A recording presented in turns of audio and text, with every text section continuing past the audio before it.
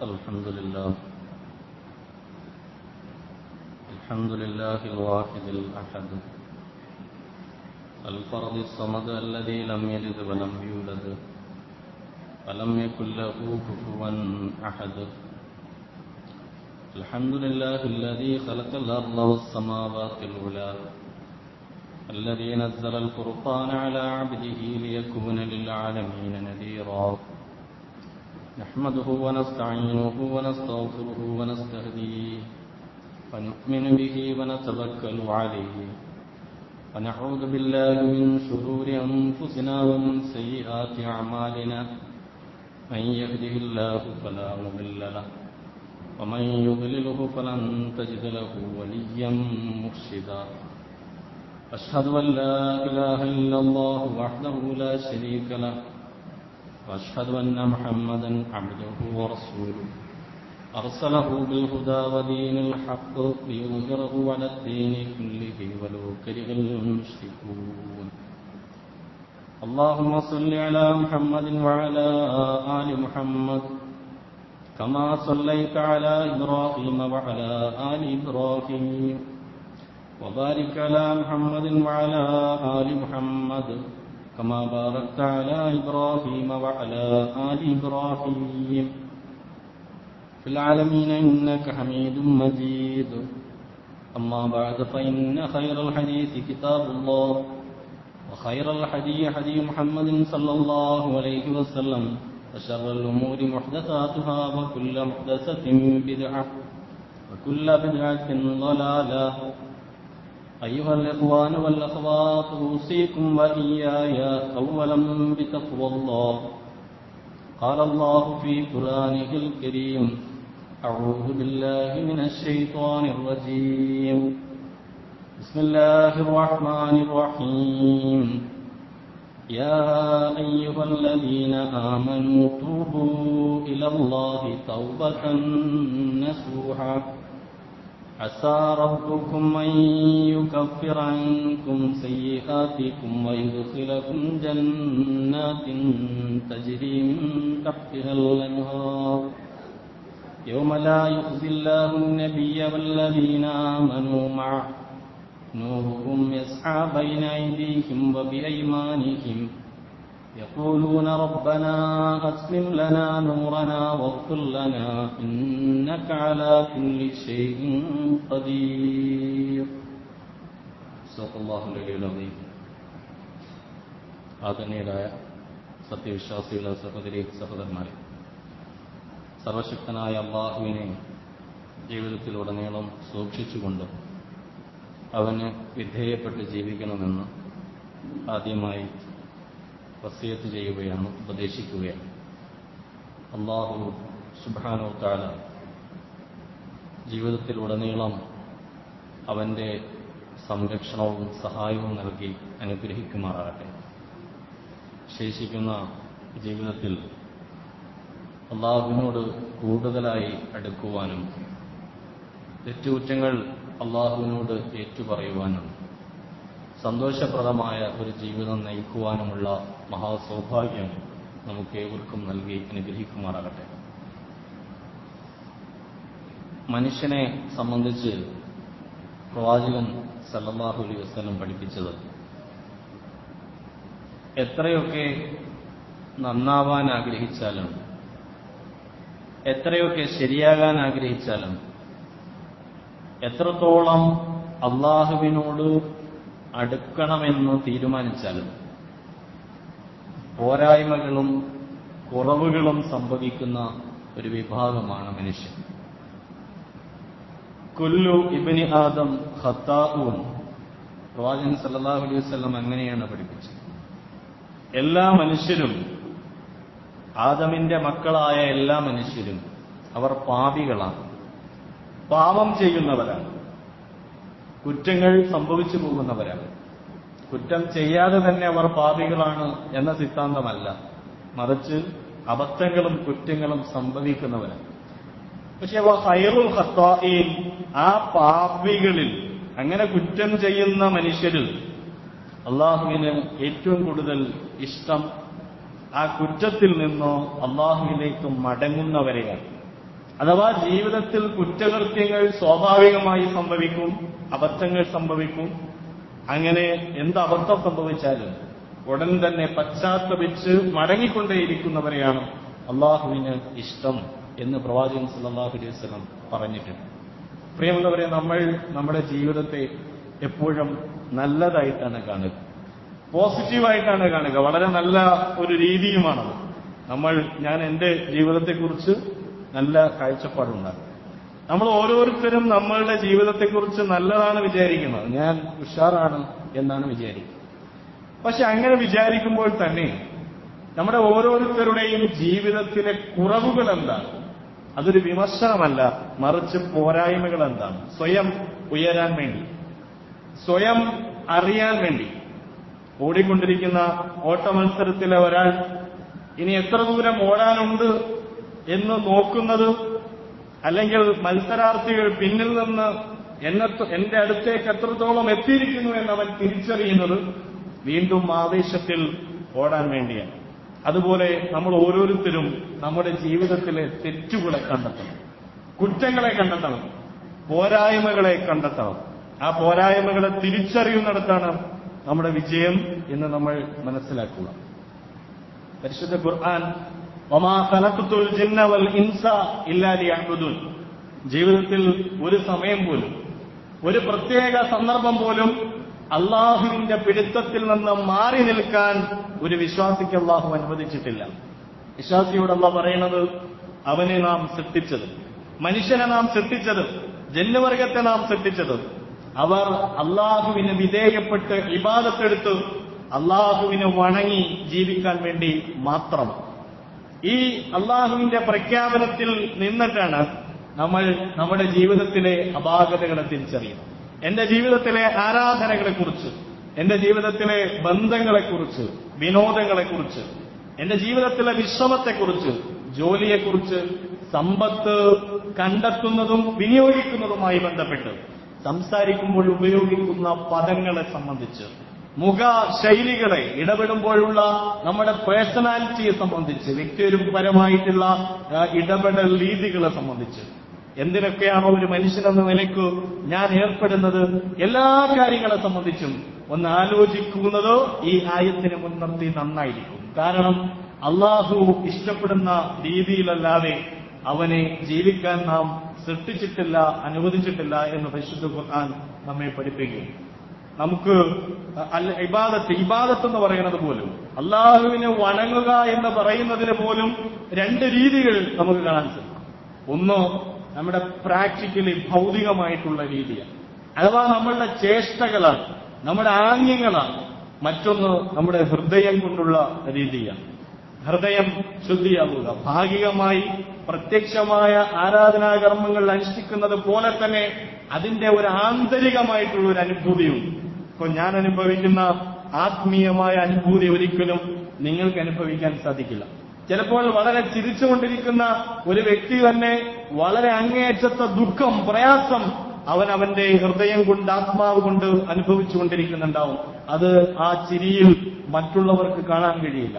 ഒരാൾ കരഞ്ഞുകൊണ്ടിരിക്കുമ്പോൾ അല്ലെങ്കിൽ ഒട്ടനവധി ബുദ്ധിമുട്ടുകൾ ഉള്ളപ്പോൾ തന്നെ അദ്ദേഹത്തിന് മനസ്സിന് ചിലപ്പോൾ സംതൃപ്തി ഉണ്ടായിരിക്കും എന്ന് പറയുന്നത് പോലെ ഒരുപാട് ഒരുപാട് ആരാധനകളുടെ രീതികൾ പ്രത്യക്ഷത്തിൽ ഉണ്ടായിരിക്കും തന്നെ പക്ഷെ പരോക്ഷമായി അവന്റെ ഹൃദയം അള്ളാഹുവിന്റെ മുമ്പിൽ എത്രത്തോളം ശരിയാണ് എന്നിടത്ത്. സംതൃപ്തമാണോ എന്നിടത്ത്. അള്ളാഹുവിന്റെ അടുത്തേക്ക് അവന്റെ ഹൃദയം കൊണ്ട് അവൻ കടന്നു ചെന്നിട്ടുണ്ടോ എന്നിടത്തു ചിലപ്പോൾ അപാകതകളും പോരായ്മകളും ആ വ്യക്തിക്ക് കണ്ടെത്താൻ കഴിയും. അതുകൊണ്ട് പ്രവാചകൻ സല്ലല്ലാഹു അലൈഹി വസല്ലം പറയുന്നു അല വ ഇന്ന ഫിൽ അല്ല സഹോദരന്മാരെ നിങ്ങളുടെ ശരീരത്തിൽ ഒരു മാംസ കഷ്ണമാണ് ആ മാംസ കഷ്ണം ഇതാ സ്വരഹ സ്വരഹൽ ജസദ് കുല്ലു. ആ ഭാഗം ശരിയായാൽ ആ ഒരു പാർട്ട് ഒരു പാർട്ട് ശരിയായാൽ നിങ്ങളുടെ ശരീരം മുഴുവൻ നന്നായി ശരിയായി. അതേ അവസരത്തിൽ വൈദ ഫസദത്ത് ആ ഒരു പാർട്ട് ഒരു ഭാഗം അത് കേടായാൽ ഫസദൽ ജസദ് കുല്ലു ശരീരം മുഴുവൻ മോശമായതിന് തുല്യമാണ്. പ്രത്യക്ഷത്തിൽ നിങ്ങളുടെ മനസ്സ് ദുഷി എന്നിട്ട് അതെന്താന്ന് പറയാ? അറിയുക വലിയ കൽബ് അത് ഹൃദയമാണ് ഹൃദയ വിശുദ്ധിയാണ്.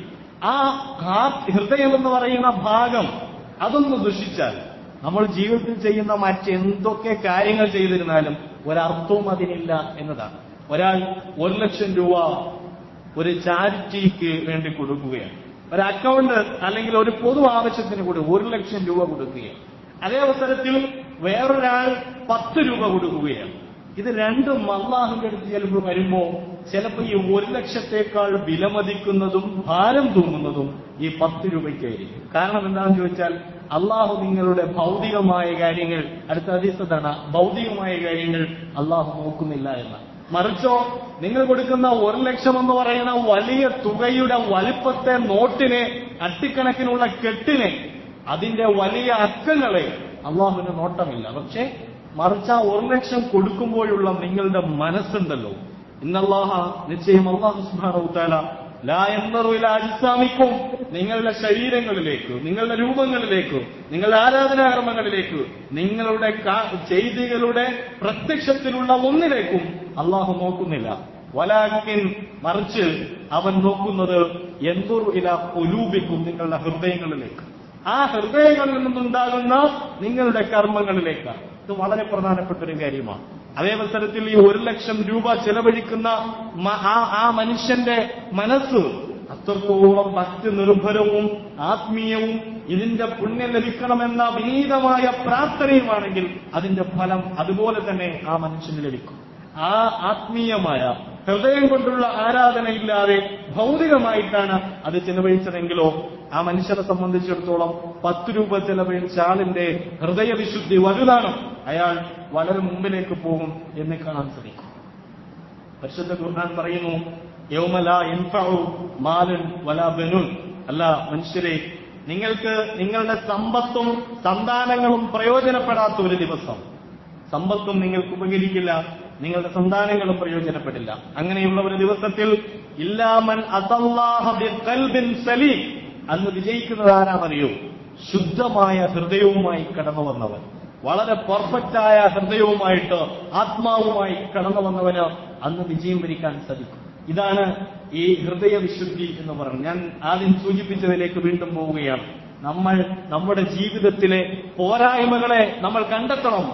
നമ്മൾ നിരന്തരമായി ആലോചിക്കണം. എന്റെ ജീവിതത്തിലെ അപാകതകൾ ഓരോന്നും കണ്ടെത്തണം. ചില ആളുകളുണ്ട് വൈകുന്നേരങ്ങളിൽ രാവിലെ മുതൽ വൈകുന്നേരം വരെയുള്ള ജീവിതത്തിലെ ഇടപെടലുകളിൽ ആരോടെങ്കിലും മോശമായി സംസാരിച്ചിട്ടുണ്ടെങ്കിൽ ആ സംസാരം കണ്ടെത്തി ആ മനുഷ്യനോട് ക്ഷമ ചോദിക്കുന്ന ചരിത്രം നമുക്ക് കാണാൻ സാധിക്കും. അങ്ങനെ നമുക്കൊന്ന് ആലോചിച്ച് നോക്കുക. നമ്മളുടെ പെരുമാറ്റങ്ങളിൽ നമ്മുടെ വീടുകളിൽ നമ്മുടെ ഭാര്യയോടുള്ള പെരുമാറ്റങ്ങളിൽ ഭർത്താവിനോടുള്ള സമീപനങ്ങളിൽ മക്കളോടുള്ള സമീപനങ്ങളിൽ മാതാപിതാക്കളോടുള്ള ഇടപെടലുകളിൽ അവരോടുള്ള സമീപനങ്ങളിലും അവരോടുള്ള പെരുമാറ്റങ്ങളിലും നമ്മുടെ സാമ്പത്തികമായ കാര്യങ്ങളിൽ എവിടെയെല്ലാം എന്തെല്ലാം പോരായ്മകളാണോ ഉള്ളത് ആ പോരായ്മകളെ കണ്ടെത്തി തിരിച്ചറിഞ്ഞ് അള്ളാഹുവെ അത് എനിക്ക് പറ്റിപ്പോയ ഒരബദ്ധമാണ്. അതൊരു ഒരു മോശം പ്രവൃത്തിയാണ്. അത് പാടില്ലാത്തൊരു സംഗതിയാണ്. നിന്നിൽ വിശ്വസിക്കുന്ന നിന്റെ പ്രതാപത്തെ അംഗീകരിക്കുന്ന നിന്നിൽ നിന്ന് വിജയം പ്രതീക്ഷിച്ച് ജീവിക്കുന്ന നശ്വരമായ ഈ ജീവിതത്തിനിടയ്ക്ക് എനിക്ക് എന്നിൽ നിന്ന് സംഭവിക്കാൻ പാടില്ലാത്തൊരു കാര്യമാണ്. പക്ഷെ അത് സംഭവിച്ചു. ഞാനിതാ നിന്റെ സന്നിധിയിലേക്ക് മടങ്ങി വരികയാണ്. ആ തെറ്റിൽ നിന്ന് നിന്നോടിതാ പശ്ചാത്തപിക്കുകയാണ്. ഇതിനാണ് തൗബ എന്ന വിശുദ്ധ ഖുർആൻ അല്ലെങ്കിൽ പ്രവാചക സല്ലല്ലാഹു അലൈഹി നമ്മെ പഠിപ്പിക്കുന്നത്. അൻ തകൂന ദായിമൻ മഅല്ലാഹി സദാസമയം അള്ളാഹുവിനോടൊപ്പം ജീവിക്കുക. ലാ തുഫാരിഖുഹു അവനെ അവനോടുള്ള ബന്ധം വിച്ഛേദിക്കാതിരിക്കുക ഇതിനാണ് തൗബ. ഔദത്തുനിലൽ അസിൽ. ഔദത്തുനിലൽ അസിൽ. ഔദത്തുൻ ഇലല്ലാ. അള്ളാഹുവിലേക്കുള്ള മടക്കം. അവന്റെ ഒറിജിനൽ രൂപത്തിലേക്കുള്ള മടക്കം എന്ന് പറയണം. പരിശുദ്ധമായ ഹൃദയത്തോടുകൂടി ശരീരത്തോടുകൂടി പിഞ്ചു കുഞ്ഞായി ജനിച്ച് ഈ ഭൂമി ലോകത്തേക്ക് വരുമ്പോൾ ഒരു കളങ്കവുമില്ലാത്ത നിഷ്കളങ്കനായ ഒരു കുട്ടിയാണ് ആ മനുഷ്യനെന്ന് പറയുന്നത് പിന്നീട് പിന്നീട് അവന് ബുദ്ധി ഉദിക്കുന്നു അവൻ ഓർമ്മയുണ്ടാകുന്നു അവൻ ഇടപെടുന്നു പെരുമാറുന്നു. അങ്ങനെ അവൻ വളർന്ന് സമൂഹത്തിൽ ഇടപെടുമ്പോൾ അവന്റെ ജീവിതത്തിൽ അവനാൽ ചെയ്തു കൂട്ടുന്ന പാപങ്ങൾ കാരണം കറകൾ വന്നു ഹൃദയം കറപിടിച്ച് അല്ലെങ്കിൽ ഹൃദയത്തിൽ പാപങ്ങളുടെ കൂമ്പാരങ്ങൾ ഉണ്ടായിത്തീരുന്ന സന്ദർഭത്തിലാണ് പ്രിയമുള്ളവരെ അവൻ തൗബ ചെയ്ത് മടങ്ങുന്നത്. ആത്മാവിന്റെ വിശുദ്ധിയെ അവൻ അന്വേഷിക്കുന്നത് എന്ന് കാണാൻ സാധിക്കും. വമാബിക്കും. എങ്ങനെയാണ് നിങ്ങൾക്ക് അള്ളാഹുവിലേക്ക് മടങ്ങാൻ കഴിയുക? എങ്ങനെയാണ് നിങ്ങൾ നിങ്ങളുടെ കുറ്റകൃത്യങ്ങളെ കണ്ടെത്താൻ നിങ്ങൾക്ക് സാധിക്കുക? അള്ളാഹു സുബ്ഹാനഹു തആല പറയുന്നത് നിങ്ങൾക്ക് അള്ളാഹു നൽകിയിട്ടുള്ള അനുഗ്രഹങ്ങളെ ഒരുപാട് അനുഗ്രഹങ്ങൾ ഉണ്ടാവും. ചിലപ്പോ ഒരു അനുഗ്രഹവും നൽകിയില്ല എന്ന് തോന്നും.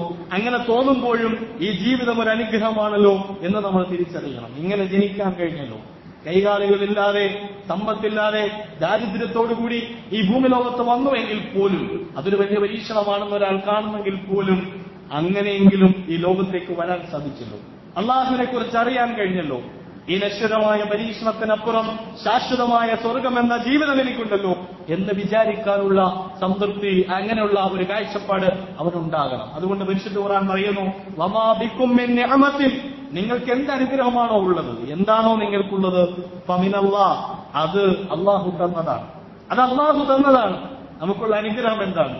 എല്ലാവരും വിചാരിക്കും അനുഗ്രഹം എന്ന് പറയുമ്പോൾ വലിയ വലിയ വിദ്യാഭ്യാസമാണ്. അല്ലെങ്കിൽ വലിയ ജോലിയാണ്. ഗൾഫിൽ വലിയ ഫാമിലി ക്വാർട്ടേഴ്സോടുകൂടി ഒക്കെയുള്ള വലിയ ജോലിയാണ് വലിയ അനുഗ്രഹങ്ങൾ എന്ന് ചിലർ വിചാരിക്കും. സമ്പത്താണെന്ന് വിചാരിക്കും. ഇതൊക്കെ അനുഗ്രഹങ്ങളല്ല എന്നല്ല പറയുന്നത്. അതൊക്കെ അനുഗ്രഹമാണ് ഇതൊക്കെ അനുഗ്രഹമാണ്. ഈ അനുഗ്രഹങ്ങളോടൊപ്പം തന്നെ അള്ളാഹു തന്ന വലിയ അനുഗ്രഹങ്ങൾ നേരത്തെ പറഞ്ഞ നമ്മുടെ ജീവിതമാണ്. കാഴ്ചയുള്ളവർ ഒരു ഒത്തിരി നേരം അഞ്ചു മിനിറ്റ് കണ്ണടച്ചു പിടിച്ചിരിക്കുക. വീട്ടിലേക്ക് ചെല്ലുമ്പോൾ കണ്ണടച്ചുകൊണ്ട് തന്നെ കയറി ചെല്ലുക. കിണറിന്റെ പരിസരങ്ങൾ സൂക്ഷിച്ചു വേണം നമ്മൾ അങ്ങനെ പോവാൻ ആ സന്ദർഭങ്ങളിൽ. ഒരു ഒരു അഞ്ചു മിനിറ്റ് കണ്ണടച്ച് സഞ്ചരിക്കാൻ നമുക്ക് കഴിയുന്നില്ല എങ്കിൽ ആ കണ്ണ് തുറന്നിട്ട് അള്ള തന്ന കണ്ണിന്റെ വലിയ അനുഗ്രഹത്തെ സംബന്ധിച്ച് ഒന്നാലോചിച്ചു നോക്കുക. നമ്മുടെ കൈകാലുകൾ ഉള്ള ചലിപ്പിക്കുന്ന കൈകാലുകൾ അത് ചലിക്കാതിരിക്കുന്നതിനെ സംബന്ധിച്ച് ഒരു ഒരു ഒരു ഒരു നിമിഷ നേരം നമ്മളൊന്ന് ആലോചിക്കുക. നടന്നു പോകാൻ സാധിക്കുമല്ലോ ഇപ്പോ? നടന്നു പോകാം. ആവശ്യങ്ങൾ ചോദിക്കാൻ പറ്റുമല്ലോ? ചോദിക്കാൻ പറ്റാതെ മിണ്ടാതിരിക്കുന്ന ഒരു സന്ദർഭത്തെ സംബന്ധിച്ച് നമ്മൾ ആലോചിച്ചു നോക്കുക. ഒന്നും പറയാൻ കഴിയുന്നില്ല. നാക്ക് എടുക്കാൻ പറ്റാത്ത ഒരവസ്ഥയെ സംബന്ധിച്ച് നനക്കാൻ പറ്റാത്ത ഒരവസ്ഥയെ സംബന്ധിച്ച് രോഗം ബാധിക്കുന്ന ഒരവസ്ഥയെ സംബന്ധിച്ച് അല്ലെങ്കിൽ സ്വാതന്ത്ര്യമില്ലാത്ത ഒരവസ്ഥയെ സംബന്ധിച്ച് പത്തും ഇരുപതും അമ്പതും കൊല്ലം ജയിലിൽ കിടക്കുന്ന ആൾക്കാരെ കുറിച്ച് വായിച്ചിട്ടുണ്ടല്ലോ. ഒരു മണിക്കൂർ ഒരു മുറിക്കകത്ത് ഡോറ് കൂട്ടിയിട്ട് മുറിക്കകത്തിരുന്ന് നോക്കുക. ഒരു മണിക്കൂർ. അപ്പോൾ അറിയാം അതിന്റെ അസഹനീയത. പ്രിയമുള്ളവരെ അപ്പോൾ ജീവിതത്തിൽ അള്ളാഹു നമുക്ക് നൽകിയ നമ്മുടെ ഈ അവയവങ്ങളുണ്ടല്ലോ. ഞാൻ പറയുന്നത് ഇപ്പൊ പറയണ മുഴുവൻ നിങ്ങൾ എല്ലാവരും കേൾക്കുന്നുണ്ട്. കാര്യം നിങ്ങൾക്ക് കേൾവിയുണ്ട്. നമുക്ക് കേൾവിയുള്ളത് കൊണ്ടാണ്. പറയണതൊന്നും കേൾക്കാത്ത കേൾവിയില്ലാത്ത ഒരവസ്ഥയെ സംബന്ധിച്ച് നമ്മളൊന്ന് ചിന്തിച്ചു നോക്കുക. ഫമിനല്ലാ. എന്ത് അനുഗ്രഹമാണോ നിങ്ങൾക്കുള്ളത്? അത് മുഴുവൻ അള്ളാഹു തന്നതാണ്. ആ അനുഗ്രഹങ്ങളിൽ അള്ളാഹു തന്നിട്ടുള്ള ആ അനുഗ്രഹങ്ങൾ ഉപയോഗിച്ച് അള്ളാഹുവിന്റെ മാർഗത്തിൽ ചെയ്ത നന്മകളെ കുറിച്ചും അള്ളാഹിന്റെ മാർഗത്തിൽ ചെയ്ത തിന്മകളെ കുറിച്ചുമാണ് നമ്മൾ ആലോചിക്കേണ്ടത്. നാക്ക് അള്ളാഹു തന്ന നാവ് കൊണ്ട് നാക്കിന് പവറുള്ളതുകൊണ്ടാണല്ലോ എല്ലാ തെറികളും നമ്മൾ വിളിക്കുന്നത്. കൈക്കും കാലിലും കഴുത്തുള്ളതുകൊണ്ടാണല്ലോ നാട്ടുകാരെ തല്ലാൻ പോണത്. അല്ലെങ്കിൽ അടികൂടാൻ പോണത്. വീട്ടിൽ അന്യായമായി ബഹളം ഉണ്ടാക്കുന്നത്. അള്ള സമ്പത്ത് തന്നുകൊണ്ടാണല്ലോ ആഡംബരവും ദൂർത്തും നമ്മുടെ ജീവിതത്തിലേക്ക് കടന്നു വരുന്നത്. ഇതൊന്നും തന്നില്ലായിരുന്നെങ്കിൽ ഇതൊന്നും ഉണ്ടാകുമായിരുന്നില്ല. അപ്പൊ സ്വാഭാവികമായി നമ്മുടെ ജീവിതത്തിൽ അബദ്ധങ്ങൾ വന്നെങ്കിൽ ഈ അനുഗ്രഹം അല്ല തന്നതുകൊണ്ടാണ് ആ അല്ല തന്ന അനുഗ്രഹത്തിൽ ഞാൻ ചെയ്തിട്ടുള്ള അബദ്ധങ്ങളെ വലിയ അതിക്രമമായി അതിക്രമമായി തിരിച്ചറിയാൻ നമുക്ക് കഴിയണം വെറുതെ അസ്തോഫുള്ള എന്ന് പറയുന്ന ഒരാൾ പള്ളിയിൽ പോയി നമസ്കരിക്കാൻ പോണു അസ്തോഫുള്ള അസ്തഫുള്ള എന്താ അസ്തോഫുള്ള ഒരു ഒരു ഒരു ചിന്തയോ ആലോചനയോ ബോധ്യമോ അതിനെ സംബന്ധിച്ചില്ലെങ്കിൽ അസ്തോഫുള്ള എന്ന് പറഞ്ഞാൽ വെറുതെയാണ് ഒരർത്ഥവുമില്ല അതിന്. നമ്മൾ പറയുന്നതിന് ഒരു കാരണമുണ്ട്. എന്റെ കഴിഞ്ഞകാല ജീവിതം അള്ളാഹുവെ ഇന്നതായിരുന്നു. വളരെ യൗവനത്തോടുകൂടി ആരോഗ്യമുള്ള ഒരു സമയം എന്റെ ജീവിതത്തിൽ ഉണ്ടായിരുന്നു. അന്ന് എനിക്ക് കണ്ണിന് കാഴ്ചയുണ്ടായിരുന്നു. അന്ന് കാതിന് കേൾവിയുണ്ടായിരുന്നു. നാക്കിന് ശക്തിയുണ്ടായിരുന്നു. എവിടെയും പോകാമായിരുന്നു. എന്റെ കരങ്ങളെ ആരും ബന്ധിച്ചിരുന്നില്ല. പക്ഷേ അന്നൊന്നും ഇസ്ലാമിന് വേണ്ടി ഇസ്ലാമിനെ ഒന്ന് സ്നേഹിക്കാൻ അള്ളാഹുവിനെ ഒന്ന് സ്നേഹിക്കാൻ അള്ളാഹുവിന്റെ ജീവിതത്തിന്റെ ധന്യമായ പാർട്ട് നിന്നെ ഓർത്തുകൊണ്ട് ജീവിക്കാൻ എനിക്ക് സാധിച്ചില്ല. അതൊരു വലിയ അപരാധമല്ലേ ജീവിതത്തിൽ? വാർദ്ധക്യം പ്രാപിക്കുമ്പോൾ വളരെ കുറെ ജീവിതം കുറെ കഴിഞ്ഞതിന് ശേഷമാണ് ഇസ്ലാമിനോടുള്ള ഇഷ്ടവും സ്നേഹവും തോന്നിയതെങ്കിൽ നമ്മുടെ കഴിഞ്ഞുപോയ ആ കാലഘട്ടത്തെക്കുറിച്ചുള്ള ചിന്ത നമ്മെ സംബന്ധിച്ചിടത്തോളം വളരെ വേദനയുണ്ടാക്കുന്ന ഒരു കാര്യമാണ്. കഴിഞ്ഞുപോയ യൗവനം എന്ന് പറയുന്നത് നമ്മൾ ചെലവഴിച്ചത് അനിസ്ലാമികമായിട്ടാണെങ്കിൽ ഒട്ടനവധി വേദന ഉളവാക്കുന്ന കാര്യമാണ്. സമ്പാദിച്ചിട്ടുണ്ട് പലിശ വാങ്ങി തിന്നിട്ടുണ്ട് നമ്മൾ. പലിശയുടെ സ്വത്തിൽ നിന്ന് ഭക്ഷണം കഴിച്ച് ആരോഗ്യം ചോരയുണ്ടാക്കിയിട്ടുണ്ടെങ്കിൽ ഈ ശരീരത്തിൽ ഒഴുകുന്ന ചോരയുടെ അംശങ്ങൾ തെറ്റായ മാർഗത്തിലുള്ളതാണ് എന്നത് സ്വയം തിരിച്ചറിയുന്നു ഇത് തൗബ ചെയ്ത ഇതെല്ലാം മാറും കേട്ടോ. ഇതിൽ ആരും അങ്ങനെ വിഷമിക്കേണ്ടതില്ല. പക്ഷേ ആ തിരിച്ചറിവ് ആ മനുഷ്യനുണ്ടായിരിക്കണം അന്യായമായ വെട്ടിപ്പിലൂടെ തട്ടിപ്പിലൂടെ ഒരു രൂപ സമ്പാദിച്ചു കൊണ്ടുവന്ന് ഞാൻ എന്റെ മക്കൾക്ക് അന്നം കൊടുത്തിട്ടുണ്ടെങ്കിൽ ആ മക്കൾ പോലും ജനിച്ചതും ആ വളർന്നതും കഴിച്ചതും അവരുടെ ആരോഗ്യവും അനിസ്ലാമികമാണെന്നും തെറ്റാണെന്നും അശുദ്ധമാണെന്നും നമുക്ക് തിരിച്ചറിയാൻ നമുക്ക് കഴിയണം. പ്രിയമുള്ളവരെ അങ്ങനെ നമ്മൾ നമ്മുടെ ജീവിതത്തിലേക്ക് നമ്മൾ വായിച്ച വായനകൾ എത്രയൊക്കെയോ കാര്യങ്ങൾ വായിക്കുന്നു. എന്തെല്ലാം കാര്യങ്ങൾ കേൾക്കുന്നു? വാട്സപ്പും ഫേസ്ബുക്കും എത്രയോ നമ്മൾ ഉപയോഗിക്കുന്നു. പക്ഷേ റബ്ബെ നിന്റെ വേദദർശനം ആഴ്ചയിൽ പോലും ഒരു പേജ് ഓതാൻ എനിക്ക് സാധിച്ചിട്ടില്ലെങ്കിൽ ഞാൻ എന്നോട് നമ്മൾ നമ്മളോട് നമ്മുടെ കണ്ണിന്റെ കാഴ്ചയുണ്ടല്ലോ. നമ്മൾ വായിക്കുന്ന മണിക്കൂറുകളോളം തുറന്നിരുന്ന് ഉപയോഗിക്കുന്ന ഈ പവർ കണ്ണിന്റെ. ഒരു തിമിരം വന്നാൽ അവർ അപ്പൊ അറിയാം. ആൾക്കാര് ആ മധുരയിലും അവിടെ ഇവിടെയൊക്കെ ഓടി ഓപ്പറേഷൻ നടത്തി അത് ആ ആ സംഗതി നമുക്ക് കാണാം. അപ്പോ നമ്മൾ അള്ളാഹുവിന്റെ വേദദർശനത്തെ ഒന്ന് വായിക്കാൻ ഭയങ്കര മുഷിപ്പാണ്. ഖുറാൻ എടുക്കുമ്പോൾ ഉറക്കം വരും. നിസ്കരിക്കാൻ നിന്നാ പ്രയാസമാണ്. അങ്ങനെ എങ്ങനെ പ്രയാസം അനുഭവപ്പെടും നമ്മുടെ ലൈഫിൽ പക്ഷെ അവിടെ എല്ലാം ലൈഫ് എങ്ങനെയാണെന്ന് അതുകൊണ്ടാണല്ലോ ആദ്യമേ പറഞ്ഞത്. ആദം കുറ്റം ചെയ്യുന്നവനാണ്. ഇബിലീസ് എപ്പോഴും പ്രലോഭിപ്പിക്കുന്നവനാണ്. ആ പ്രലോഭനങ്ങൾക്കിടയിൽ സ്വന്തം ജീവിതത്തിലെ കുറ്റകൃത്യങ്ങളെ അവൻ തിരിച്ചറിയുന്നു.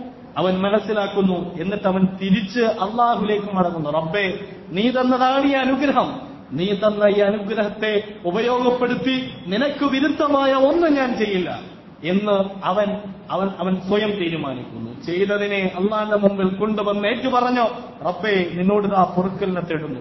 ഇന്നേ ഇലക്കുമാ ആദം നബി അലൈഹി ഇസ്ലാമിന്റെ അടുക്കൽ പിശാജി വന്നു. പിശാജി വന്നിട്ട് പറഞ്ഞത് എന്താണ്? ആദമേ ഹവ ലമിനൻ നിശ്ചയമായും ഞാൻ നിങ്ങൾ ഉപദേശിക്കാൻ വന്നവനാണ്. നിനക്ക് ബുദ്ധി പറഞ്ഞു തരാൻ വന്നവനാണ്. നീ ആ വൃക്ഷത്തിന്റെ കായ്കനികൾ കഴിക്കണം. അത് കഴിച്ചാൽ നിനക്ക് ശാശ്വതമായ ജീവിതം ഉണ്ടാവും നീ അത് കഴിക്കരുതെന്ന് നിന്റെ റബ്ബ് നിന്നോട് പറയണത് അത് കഴിച്ചാൽ ശാശ്വതമായ ജീവിതം നിനക്ക് ലഭിക്കുന്നത് കൊണ്ടാണ് അള്ളാഹ് അത് കഴിക്കരുതെന്ന് നിന്നോട് പറഞ്ഞത്. നീ അത് കഴിച്ചാൽ ശാശ്വതമായ സുഭിക്ഷമായ ജീവിതം ഉണ്ടാവും ഈ ദുനിയാവിനെ കുറിച്ച് നമ്മൾ അങ്ങനെയല്ലേ? എല്ലാം നമ്മൾ അങ്ങനെയാണ് വിചാരിക്കണം. നല്ല വിചാരമാണ്. പക്ഷെ അതിൽ അബദ്ധങ്ങൾ സംഭവിക്കരുത്.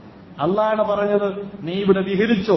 ചെയ്തോ? നീ ഇവിടെ ജീവിച്ചോ? ഇഷ്ടപ്പെട്ടത് കഴിച്ചോ? പക്ഷെ ഒരു വൃക്ഷത്തെ മാത്രമേ തടഞ്ഞുള്ളൂ. പക്ഷെ ആ വൃക്ഷത്തിനെ കുറിച്ച് പോലും ഇബിലീസ് വന്നിട്ട് പറഞ്ഞത് ഞാൻ നിന്നെ ഉപദേശിക്കുകയാണ്.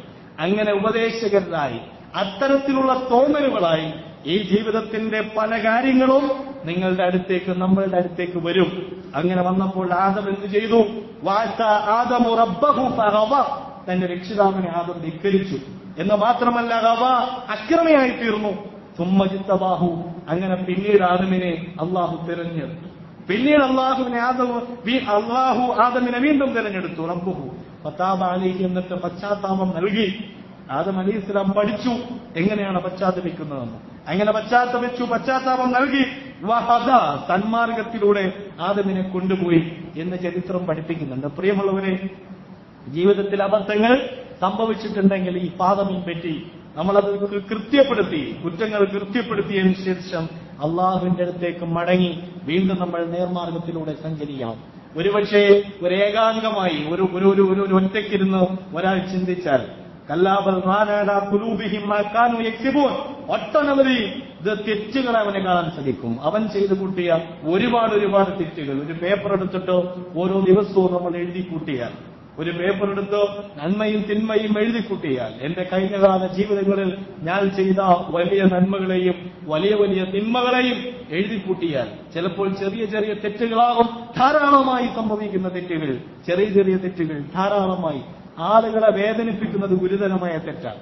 നമ്മൾ അറിയാണ്ട് സംസാരിച്ചിട്ടുണ്ടാവും. ചിലപ്പോ ഒട്ടനവധി പേർ ആ സംഭാഷണത്തിലൂടെ വേദനിച്ചിട്ടുണ്ടാവും. ആ വേദനിക്കുന്ന മനസ്സിന് മുമ്പിൽ മാപ്പ് ചോദിച്ചിട്ടില്ലെങ്കിൽ അത് ഞാനൊരു കുറ്റക്കാരനാണ്. ബോധപൂർവം അല്ലെങ്കിൽ പോലും നമ്മൾ നമ്മുടെ വാക്കിനെ പോലും സൂക്ഷിക്കുന്നു. വളരെ ലൈനായിട്ട് സംസാരിക്കുന്നു.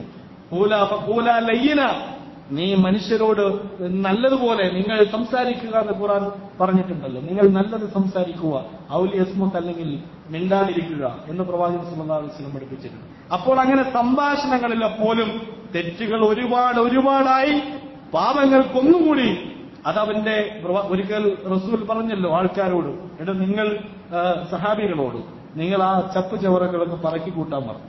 പറക്കി കൂട്ടിയില്ല. ചപ്പ് ചവറുകൾ പറക്കി വെച്ചില്ല. അവർ പറഞ്ഞു ഇവിടെ എവിടെ? ചപ്പ് ചവറില്ലല്ലോ റസൂൽ. ഇവിടെ വിജനമായി കിടക്കുന്ന നല്ല മൈതാനമാണ് അപ്പൊ റസൂൽ വീണ്ടും പറഞ്ഞു അല്ല നിങ്ങൾ ഉള്ളതെല്ലാം പറക്കി വെക്കുക. അങ്ങനെ എല്ലാവരും പോയി ഓരോ ഇലകൾ അവിടെ നിന്ന് അവിടെ നിന്ന് ഓരോ കുറ്റി കമ്പ് ഇല ഒക്കെ പറക്കി കൂട്ടിക്കൂട്ടി കൂട്ടി അവസാനമായപ്പോൾ അത് ഒരാ ഒരു- മനുഷ്യന്റെ പൊക്കത്തിലേക്ക് ആ- ചപ്പിച്ച ചപ്പ് കുന്നുകൂടി. അതിനെ നോക്കിയിട്ട് റസൂൽ പറഞ്ഞു ഇതാണ് നിങ്ങളുടെ ജീവിതത്തിലെ പാവങ്ങൾ നിങ്ങൾ കണ്ടെത്തിയില്ല. നിങ്ങൾ അന്വേഷിച്ചില്ല പാവങ്ങളെ കുറിച്ച് നിങ്ങൾ അന്വേഷിക്കാത്ത പാപങ്ങൾ നാളെ നിങ്ങളെക്കാൾ പൊക്കത്തിൽ കുന്നുകൂടി നിങ്ങളുടെ മുകളിലേക്ക് അത് മറിഞ്ഞു വീഴും എന്ന് റസൂൽ സല്ലല്ലാഹു അലൈഹി വസല്ലം പഠിപ്പിക്കുകയാണ് എന്ന് വെച്ചാൽ ഈ പാപങ്ങൾ നാളെ നമ്മുടെ നന്മകളെ നശിപ്പിച്ചു കളയും. അതുകൊണ്ട് അത് കണ്ടെത്തുക എന്നാണ് റസൂൽ ആ ഹദീസിൽ പ്രിയമുള്ളവരെ നമ്മെ പഠിപ്പിക്കുന്നത്. നമ്മൾ ഇത് നീട്ടിവെക്കരുത്. രാവിലെ എഴുന്നേറ്റാൽ വൈകുന്നേരത്തെ പ്രതീക്ഷിക്കരുതെന്ന് റസൂൽ സല്ലല്ലാഹു അലൈഹി വസല്ലം പഠിപ്പിച്ചിട്ടുണ്ട്. ഇതാ അസ്ബഹത നാളെയാവാം നഫ്സക ഫിൽ മസാ നാളെ ആവാം നാളെ ആവാം അടുത്ത ആഴ്ചയാവാം എന്നിങ്ങനെ വിചാരിക്കരുത്. ഇന്ന് രാവിലെ നിങ്ങൾക്ക് ഒരു പ്രഭാതമുണ്ടായാൽ വൈകുന്നേരം ഒരു മസ ഒരു ഒരു- വൈകുന്നേരം ഉണ്ടാകും എന്ന് പ്രതീക്ഷിക്കരുത്. ആ പ്രതീക്ഷ ചിലപ്പോ സംഭവിച്ചേക്കാം. ചിലപ്പോൾ ആ പ്രതീക്ഷ സഫലമായി എന്ന് വരില്ല. വൈകുന്നേരം നിനക്കൊരു വൈകുന്നേരം ഉണ്ടായാൽ ഇന്ന് ചെയ്യേണ്ട കാര്യമാണെങ്കിൽ നാളെ ചെയ്യാമെന്ന് വിചാരിക്കരുത്. നാളെയുടെ സുപ്രഭാതത്തിൽ നിനക്കൊരു പ്രഭാതം ഉണ്ടായി എന്ന് വരില്ല. ഏ കഴിഞ്ഞ മെനിയാന്നാണ് ഒരാൾ മരിച്ചു. കടുവയിൽ കടുവയിൽ സ്ഥാപനത്തിലെ ഇമാമ രാത്രിയിൽ അറ്റാക്ക് വന്ന് സൈലന്റ് അറ്റാക്ക്. അറിഞ്ഞില്ല. രാവിലെ വിളിച്ചപ്പോൾ എഴുന്നേൽക്കുന്നില്ല. ജീവനില്ല. രാത്രിയിൽ ഒരുപാട് സ്വപ്നങ്ങളുമായി ഉറങ്ങിയവനായിരിക്കും. ഉറങ്ങിയ ആളായിരിക്കും. പക്ഷേ രാവിലെ ജീവനില്ലാത്ത ശരീരമാണ് നമുക്ക് കാണാൻ സാധിക്കുന്നത്. അതാണ് റസൂൽ സല്ലല്ലാഹു അലൈഹി വസല്ലം പഠിപ്പിക്കുന്നതോ. വൈകുന്നേരമായാൽ രാവിലെ പ്രതീക്ഷിക്കരുത് ഒരിക്കലും. രാവിലെ ആയാൽ വൈകുന്നേരത്തെയും പ്രതീക്ഷിക്കരുത്. അങ്ങനെ കർമ്മ അങ്ങനെ തിന്മകളോടും ബാധ്യതകളോടും ആ നിലപാട് നിങ്ങൾക്ക് ഉണ്ടാവണം അതേ അവസരത്തിൽ നിങ്ങളുടെ അധ്വാനത്തിന്റെ വിഷയത്തിൽ നിങ്ങൾ മരണമില്ലാത്തവനെ പോലെ അധ്വാനിക്കുകയും ചെയ്യണം. ഇത് രണ്ടും കൂടിയുള്ള സന്തുലിതമായ ഒരു കാഴ്ചപ്പാടാണ് വിശ്വാസിയുടെ ജീവിതം എന്ന് കാണാൻ സാധിക്കും. അതുകൊണ്ട് ആ അർത്ഥത്തിൽ നമ്മൾ നമ്മുടെ തെറ്റിനെ അപ്പപ്പോ തന്നെ തിരിച്ചറിയുന്നു. പിന്നീട് പിന്നീട് എന്ന് മാറ്റിവെക്കുന്നവരെ സംബന്ധിച്ച് റസൂൽ പഠിപ്പിക്കുന്നു. അക്സർ വകലിന്നാരി നരകത്തിലെ ശിക്ഷയിലെ ശിക്ഷ വാങ്ങുന്ന അധികം ആൾക്കാരും അൽ മുസൗഫൂൻ അവർ പിന്നെ ആവട്ടെ എന്ന് വെച്ചതാണ്. സൗഫ. സൗഫ എന്ന് ചെയ്യാം. നാളെ ആവാം. നാളെ നാളെ ലോട്ടറിയെ പോലെ നാളെ ആ നാളെ നാളെ അവസാനം അടിക്കത്തില്ല ലോട്ടറി. എന്ന് പറയുന്ന പോലെ സൗഫ സൗഫ എന്ന് പറയുന്നവരാണ്. അത് മുസൗഫൂൻ ആ മുസ്- മുസൗഫൂൻ എന്ന് റസൂൽ ചോദിക്കുക ആരാണ് ഈ സൗഫ മുസൗഫൂൻ എന്നറിയുമോ? അല്ലതീനൂന സൗഫനെത്തൂ ശരിയാവാം പശ്ചാത്തലിക്കാം നന്നാവാം നാളെയാകാം അടുത്ത വർഷമാകാം എന്നിങ്ങനെ പറഞ്ഞുകൊണ്ടേയിരിക്കും അവർ. സൗഫനാമൽ ചെയ്യാം. നന്നാവാം എന്നവർ പറഞ്ഞുകൊണ്ടിരിക്കും. സൗഫ് നർജ ഇതൊക്കെ ഉപേക്ഷിക്കാം. എല്ലാ തെറ്റും ഉപേക്ഷിക്കാം. ഇനി എല്ലാം നിർത്തി നേർമാർഗത്തിൽ ഞാൻ വരാം വരാം എന്ന് പറയും.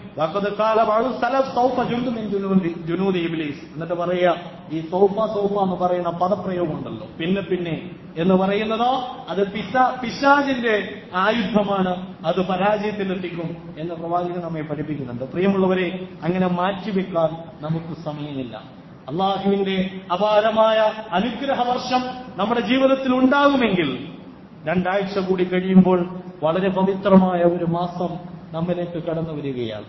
വളരെ കാലമായി ഒരു വർഷത്തോളമായി നമ്മൾ യാത്രയാക്കിയ ഒരു നല്ല അവസരം.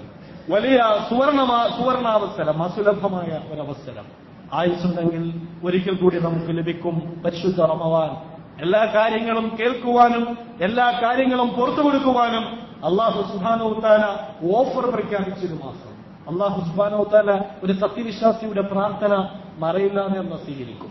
സത്യവിശ്വാസി ഒരു കാര്യം ആവശ്യപ്പെട്ടാൽ അത് അള്ളാഹ് കേൾക്കും. അള്ളാഹു ചിലപ്പോൾ ചിലതൊക്കെ ദീർഘിപ്പിച്ചു വെച്ചാൽ പോലും അള്ളാഹ് കേൾക്കും.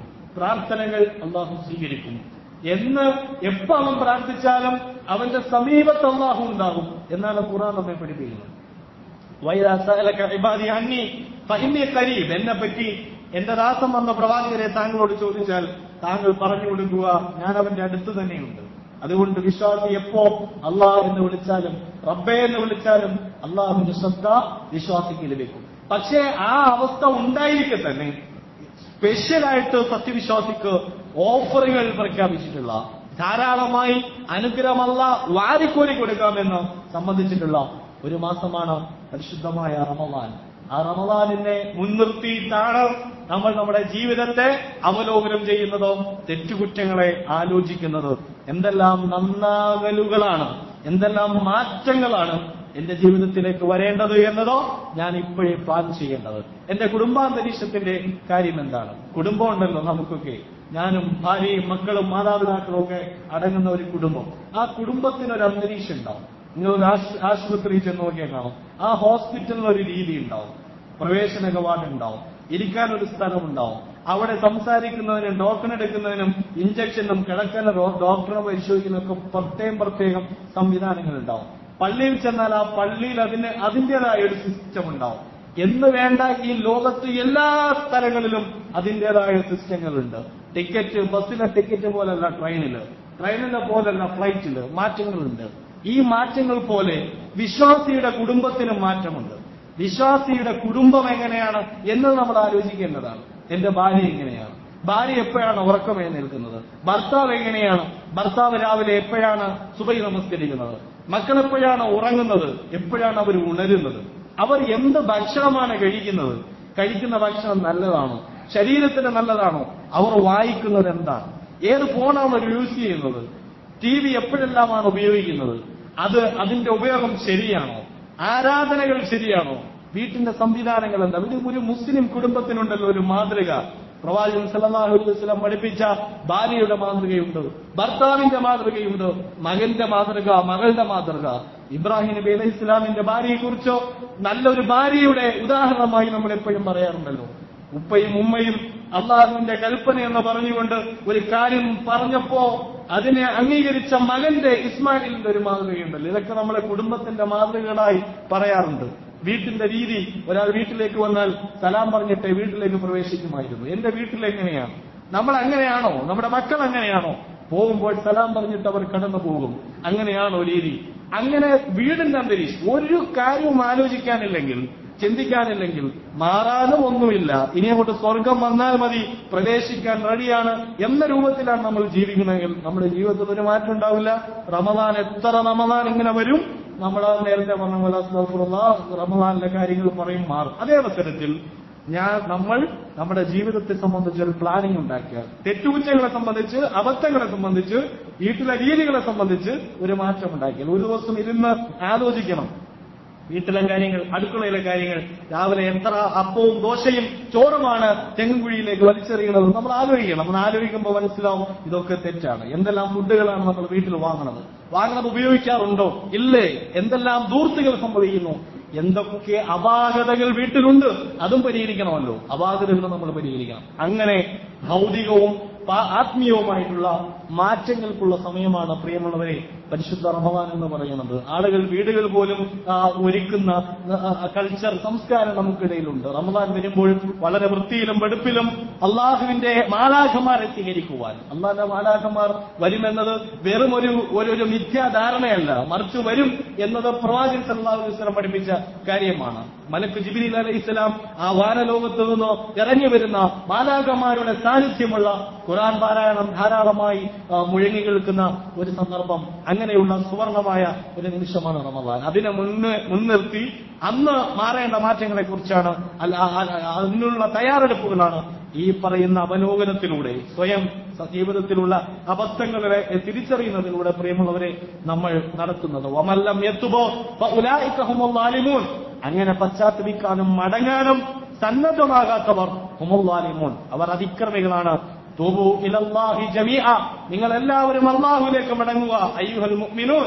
അല്ലയോ വിശ്വസിച്ചവരെ ലാലക്കും ദുഃഖം നിങ്ങൾ വിജയം വരിച്ചേക്കാം എന്ന് പരിശുദ്ധ ഖുർആൻ നമ്മോട് ആവശ്യപ്പെടുകയാണ്. റസൂൽ സല്ലല്ലാഹു അലൈഹി വസല്ലം ഒരിക്കൽ പറഞ്ഞു യാ ജനങ്ങളെ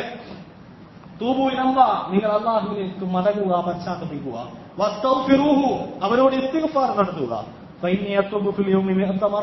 ഒരു ദിവസത്തിൽ നൂറുകണക്കിന് പ്രാവശ്യം നൂറ് പ്രാവശ്യമെങ്കിലും മനസ്സുകൊണ്ട് റബ്ബേ എന്ന് വിളിച്ച് അള്ളാഹുലേക്ക് ഞാൻ മടങ്ങാറുണ്ട്. ആര്? അള്ളാഹുന്റെ റസൂൽ വലിയ കുറ്റവാളിയല്ല.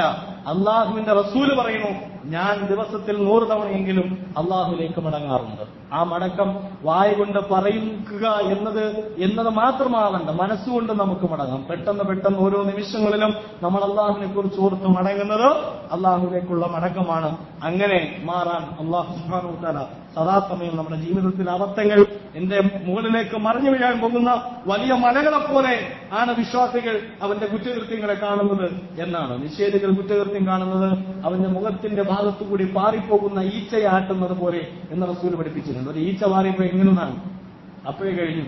വിശ്വാസി കാണുന്നത് ഒരു അവൻ ചെയ്ത തെറ്റിനെ അവന്റെ മുകളിലേക്ക് വീഴാൻ പോകുന്ന ഒരു കെട്ടിടത്തെ പോലെ മലയെപ്പോലെ പേടിച്ച് രക്ഷപ്പെടാൻ ശ്രമിക്കും. ആ ബോധ്യത്തിൽ നമ്മൾ നമ്മുടെ അബദ്ധങ്ങളെ തിരിച്ചറിയാനും അള്ളാഹുവിനോട് തൗബ ഇരക്കുവാനും അള്ളാഹുവിനോട് ചോദിക്കുവാനും തയ്യാറാവുക. അള്ളാഹു സുഹാനുവത്താല നമ്മേവരെയും അനുഗ്രഹിക്കുമാറാകട്ടെ. പാപങ്ങൾ കുറ്റങ്ങൾ കുറവുകൾ അള്ളാഹു സുഹാനുവത്താല പരിഹരിച്ചു തരുമാറാകട്ടെ. കൂടുതൽ ഈമാനുള്ള കൂടുതൽ അറിവുള്ള കൂടുതൽ ഭക്തിയുള്ള അള്ളാഹുലേക്ക് കൂടുതൽ അടുത്തിട്ടുള്ള നല്ലവരായ ദാസന്മാരായി നമ്മെ ഇവരെയും അള്ളാഹു മാറ്റി തീർക്കുമാറാകട്ടെ